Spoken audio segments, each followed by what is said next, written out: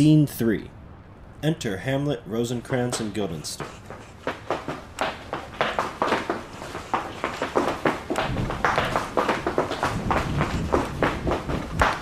Thy pace, I prithee slow, thy pace for but a moment now. I cannot keep up with thee. Tell me, good Rosencrantz, shall we proceed to bring our Guildenstern for amblings these of midnight if he doth continue to so hinder our escape from kitchens and from cooks? I think he be too slow of foot. Aye, Hamlet. And this posture now he doth impose on us of a misshaped man, oh, of bent and broken slave, or vomit filled drunk whore. Oh, tis unbecoming, and shall not encourage maidens young to flock to us. May storms or plagues now take thee both, I pray. Young prince, forsooth I warrant antics thine shall yet be timely death of us. Come, man. Didst thou not mark the cook, that when his only candle was extinguished, by myself he did so start and squeal and fall with shock of cur that's kicked, and turbulence of an old maid whose first encounter with a man is fondled in the marketplace. Yet surely that alone, tis worth the weight of antics mine for all eternity. And didst thou mock his blind attempt to find us thieves? So shaking hands of his, so trembling thus, could not but find his towering pots on high, as scaped we did with cake and wine of his. Methinks the grandest of the pots did fall on head of his for well of his, as our escape was made, doth make me think it so. This wine, I pray, be centuries old. For sure, 'tis worth needs be the worth of venture hours. The cake is so, if wine be not to the great standards of thy delicate, soft lips. Methinks that Hamlet be the boldest of all princes, dukes, and lords, for certain now, as I do fear the wrath of cooks when food of theirs be stolen thus. For dishes here are not so easily made nor easily lost. Thou shouldst not speak of bold till thou shalt see of it. But come now, Rosencrantz, and my good Guildenstern, pray tell me of the tales of women thine whilst I be gone to school in Wittenberg, for Wittenberg's women be lacking some existence.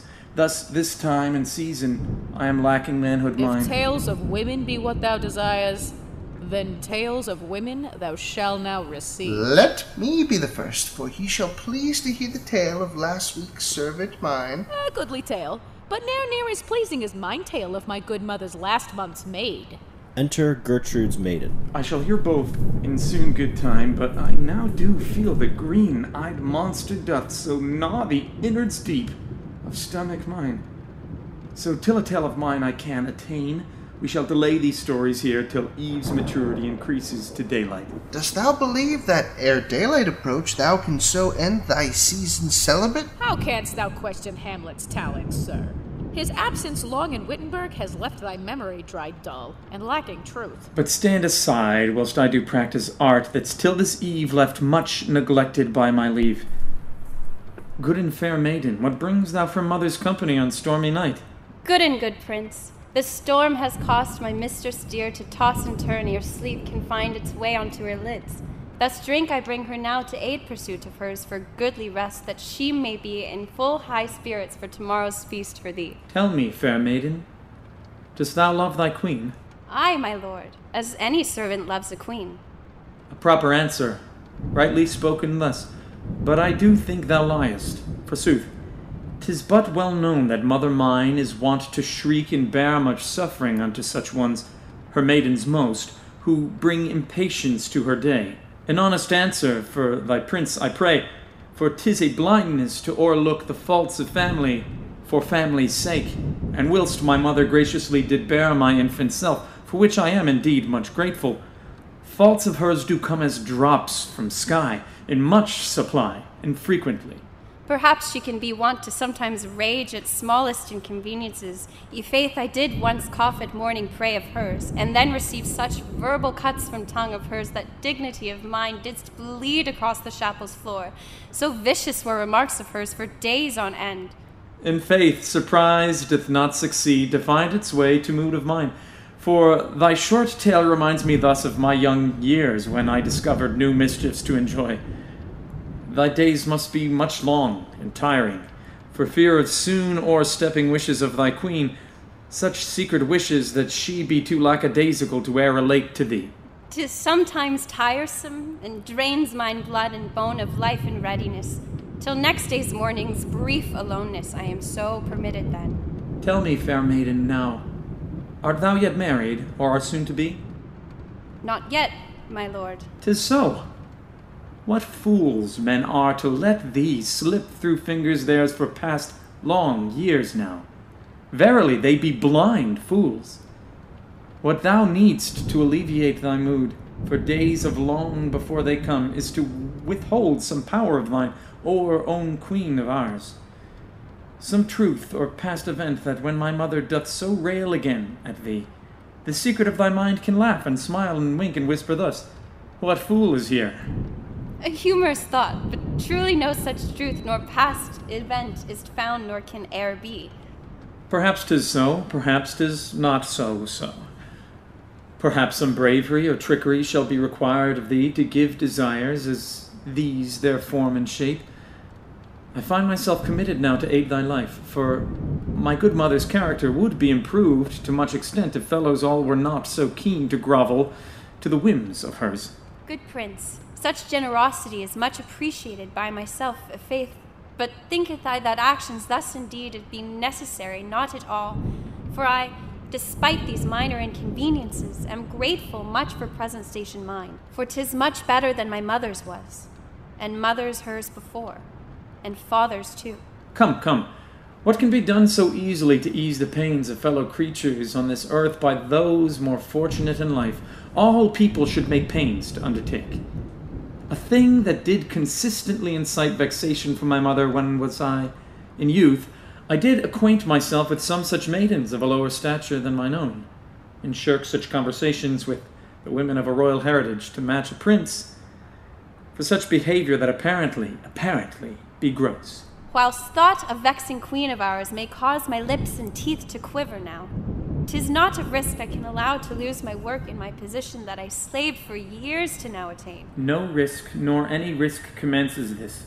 We shall not know ourselves within her line of sight, nor range of sound. But in most private places shall we know the each of other's hour. And thus mightst thou maintain thy station and delight in those infuriating moments with thy queen. But come, what sayest thee? If it be my lord's wish, Tis not for me, nor wishes mine, but thine. And for thy pleasures now. To go but first, relate to me the whereabouts of chamber thine. it lies beside my mistress's, between her chamber and her bath. Thus is beside and so between the two. Or this doth increase delight of ours, that they're so close to sleeping, and her bathing we shall soon exchange our wits, or mine alone, if you be tired much by arduous long day. Go to, go to, I'll come for thee but soon.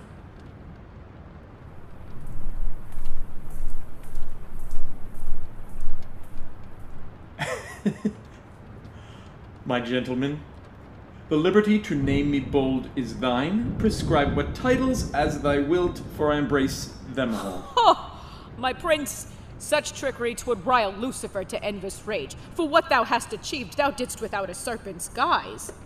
Thou art as bold as any angel who would face our heaven's God with personal dispute. Hamlet, dear, O brother mine, thou art as bold as Theseus on Crete, for thou hast slayed a minotaur of odds with charms and quips, whilst lacking sword of Aegeus. This does not do thy boldness justice now. O prince, thou art as bold as Hercules, for wit, and not particular great strength, nor a lion's skin, nor a club of such great weight, hast given thee these golden apples now, and overcome the hydra of men's stripes. Nay, nay, nay, tis still not so.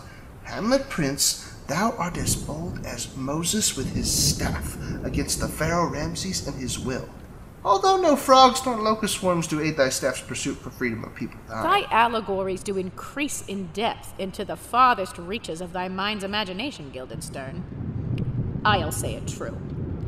Thou art more bold than father thine against one Fortinbras on Norway's field, who made defeat of him upon his horse. Do feign to make comparisons of father mine to me. I like it not. Nay, I will set the truest course of it. Thou art as bold as one who takes the Lord's good book and then extracts two characters at random, say perhaps Noah and Jonah too, and uses then his own imagination to then put them both into a work of fiction of his own, regardless of their individual set times or place or any circumstance.